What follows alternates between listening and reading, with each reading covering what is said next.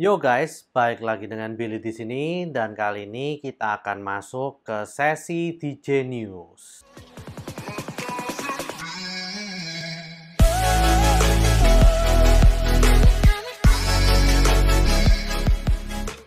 Oke, di DJ News yang kali ini kita akan membahas beberapa berita dari dalam negeri maupun dari luar negeri ya guys.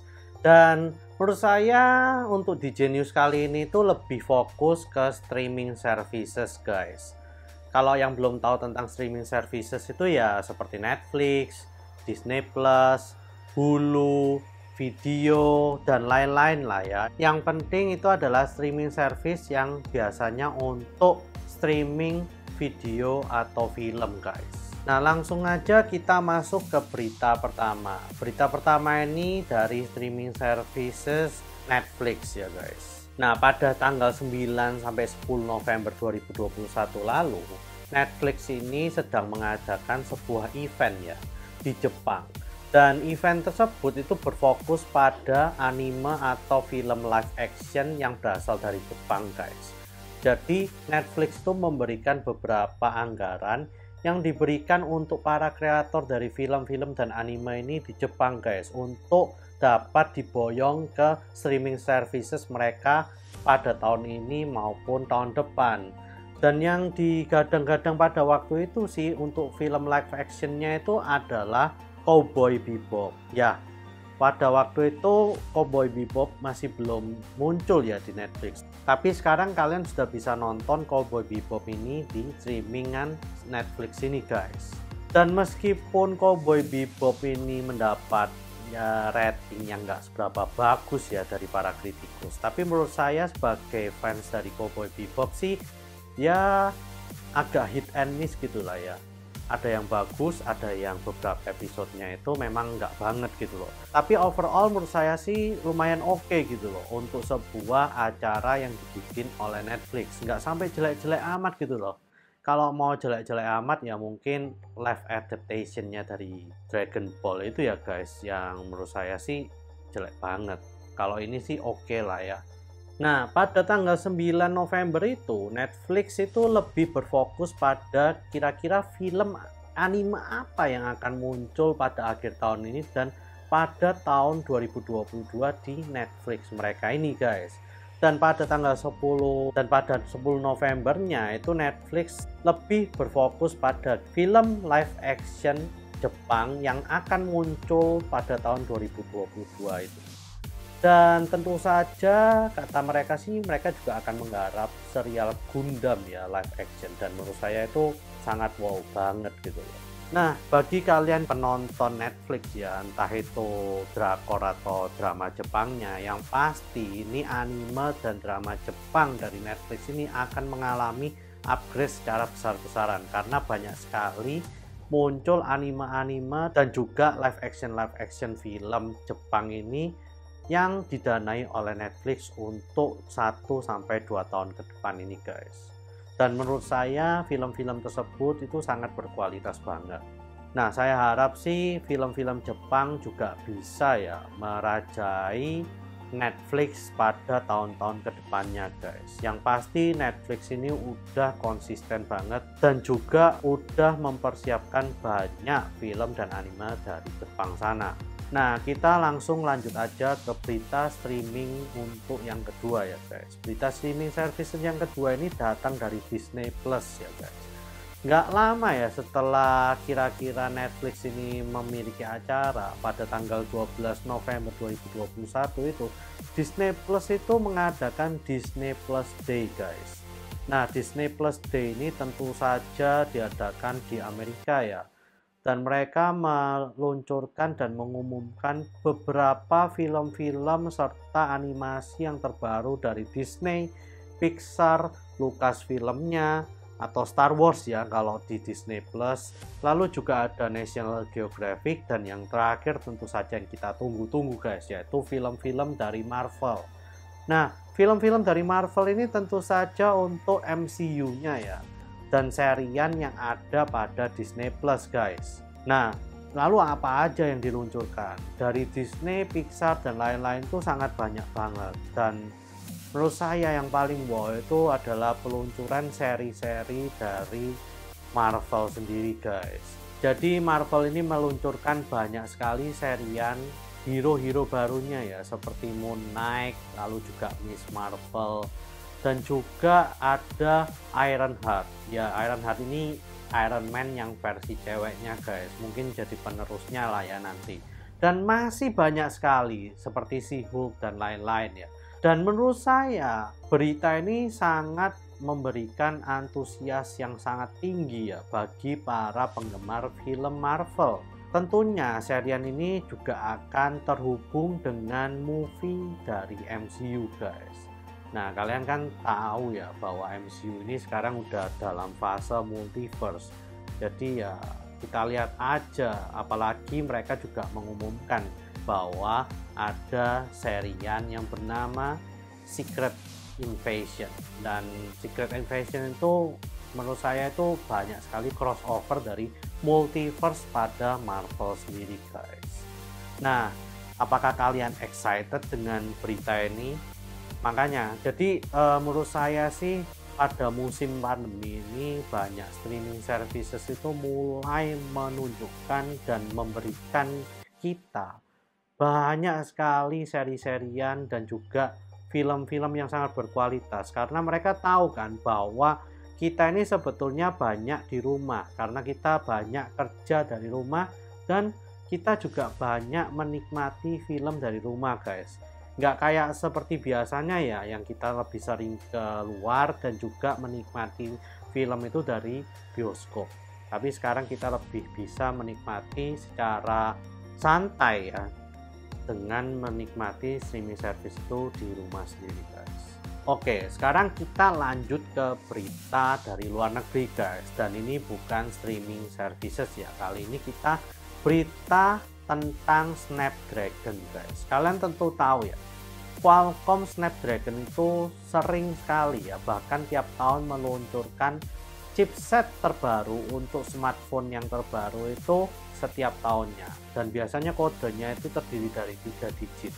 Dan yang paling terbaru itu adalah Qualcomm Snapdragon 888 Plus guys Nah pada kuartal terakhir pada tahun 2021 ini mereka ternyata menyiapkan sebuah branding baru guys. Jadi mereka tidak akan menggunakan tiga digit tersebut pada Snapdragon yang baru. Dan mereka juga menghilangkan nama Qualcomm di depannya. Jadi nanti kira-kira namanya itu adalah Snapdragon 8 generasi pertama dan ini ternyata udah ada infonya ya guys jadi per tanggal 1 Desember 2021 ini mereka mengadakan sebuah event dan mereka juga memberikan nama dari Snapdragon terbaru mereka ini jadi nama Snapdragon mereka terbaru ini adalah Snapdragon 8 generasi pertama. Nah saya nggak tahu ya apakah nanti ke tahun ke depannya itu adalah Snapdragon 8 generasi kedua ataukah di satu tahun itu ada generasi kedua dan ketiga dari Snapdragon yang sama.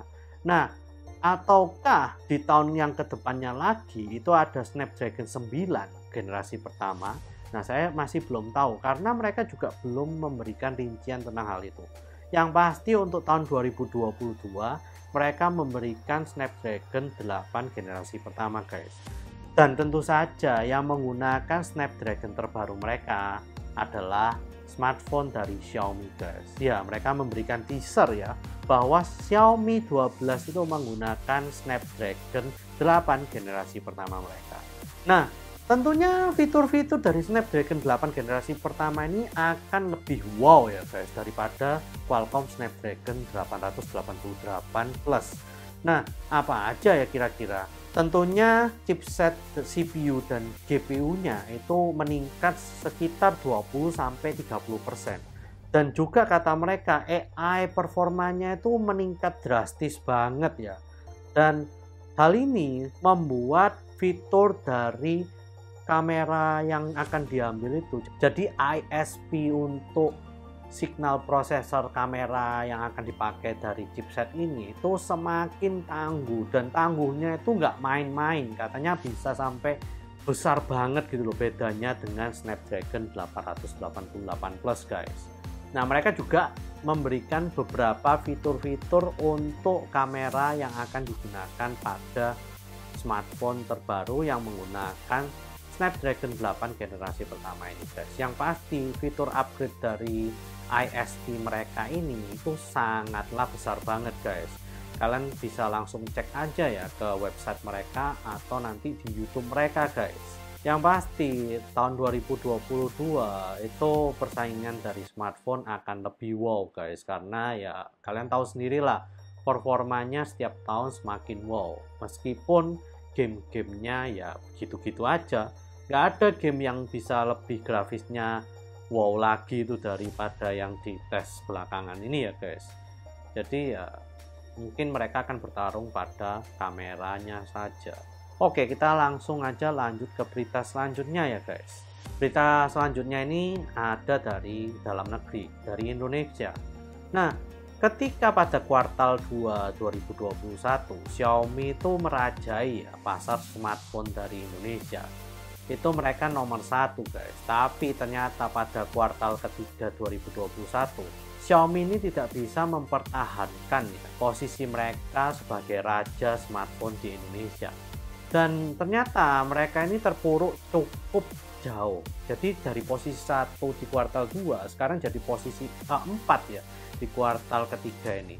Nah, posisi pertama ini ternyata diraih oleh Vivo loh guys. Nah, Vivo loh guys. Jadi bukan Oppo ataupun yang lainnya. Ini yang meraja itu Vivo Mungkin karena marketing mereka gila-gilaan banget ya di Indonesia ini, terutama marketing secara toko ya. Nah, lalu yang kedua adalah dari OVO guys, dan yang ketiga dari Samsung, yang keempat tadi saya udah bilang dari Xiaomi, dan yang terakhir adalah dari Realme. Nah, ini ternyata peta dari penyebaran smartphone ini di Indonesia sekarang ini ternyata sangat cepat banget ya guys. Cuman beda satu kuartal loh itu nomor satu bisa jadi nomor 4 dan yang nomor sebelum-sebelumnya itu bisa naik jadi nomor satu loh guys. Nah menurut saya ini sangat wow banget ya jadi kita tunggu saja nanti di tahun 2022 apakah Xiaomi bisa kembali lagi menjadi raja di penjualan smartphone di Indonesia Nah, kita langsung ke berita selanjutnya ya, guys. Berita selanjutnya ini dari pasar tablet ya.